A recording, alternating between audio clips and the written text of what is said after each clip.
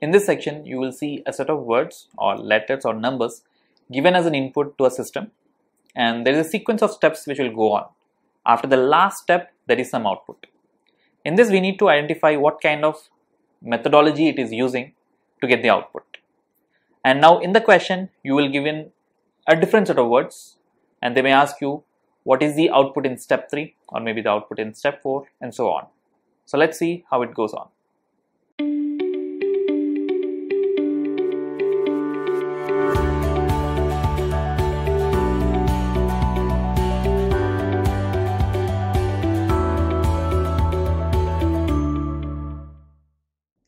Sequential output tracing. Generally, the output of the rearrangement falls in three categories. 1. Words in forward or reverse alphabetical order. The second is numbers in ascending or descending order. Third, positional change in some order. Let's take a question to understand this. The first possibility is number sequence. Now, whenever you see a data something like this, where you are given some input and there are a sequence of steps like step 1, step 2, step 3, 4 and 5. Now after this processing the randomized data is actually converted into an output. Now observe the output. What do you see? Yes, this is in decreasing order. Starts with the highest number and ends with the lowest number. Now in order to reach to this point there has been a shuffling in the each step.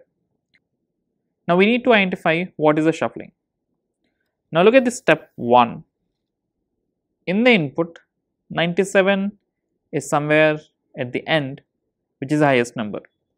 So what we have done is in step 1 we have taken that number to the first and the rest of the numbers have been pushed forward. After that the next big number is 85 which is already in the second position. Then we have 63 so, this 63 is brought forward and the rest have been pushed back. Then after that we have 36, then 19, then 16 and so on.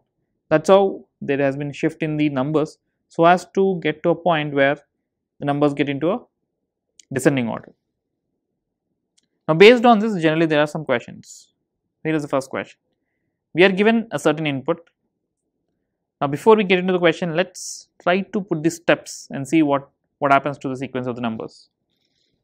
So the step 1, we already know we need to pull the, the highest number to the first. Now if you carefully observe, 32 is highest. So put that number first, then write down the rest of the numbers. So this is 0, 09, 25, 16, 30, 18, 17 and 06. Now what happens in step 2? The next highest number that is 30 has to be brought forward. So this becomes 32 then we pull the 30 forward then push the rest backward 0 9 2 5 1 6 18 17 and 0 6 the next the big number is 25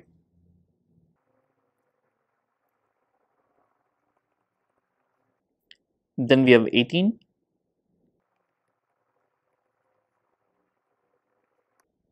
Then we have 17.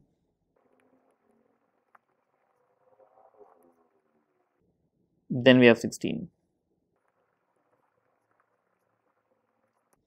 After step 6, you see that all the numbers are in a decreasing order. So that is the final step. Most of the times you will see the questions where they may ask you to find out what is the output in step 3 or maybe in step 5 or maybe sometimes they'll give you the output and they'll ask you to predict the step wherein we'll go with the reverse engineering. But if you're clear with the approach of solving, you can solve any question. Let's do one more question. Here we have an input with uh, words as well as numbers.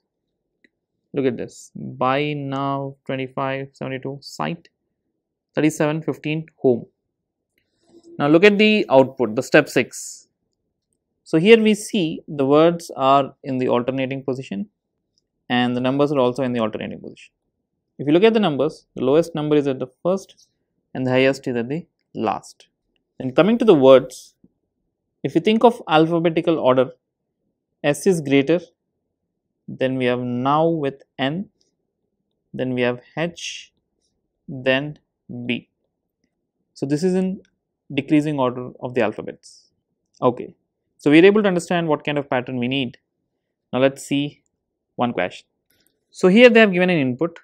The input is ask for me 49, 32, 64 and in 24. Now let me write down the steps for this. You can also try for yourself. In step 1, we need to take a word which has highest alphabetical order. So we will be taking me.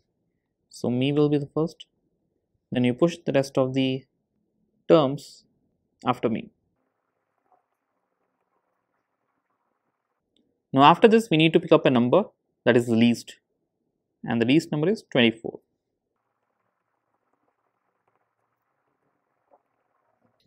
Then we pick up a word which is in decreasing order to me therefore that will be for.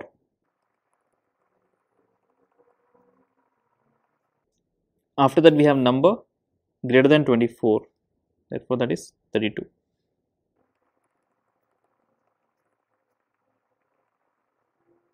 After that we have to pick up a word less than for therefore we have two options either ask or and. So both has A and go for the next alphabet it should be S or N. The greater one will go therefore it will be S. So this will remain same. After that we need to go for a number greater than 32 therefore it will be 49. So again this is also in its final position. And after that we need to have a word therefore this particular word we're going to pick up.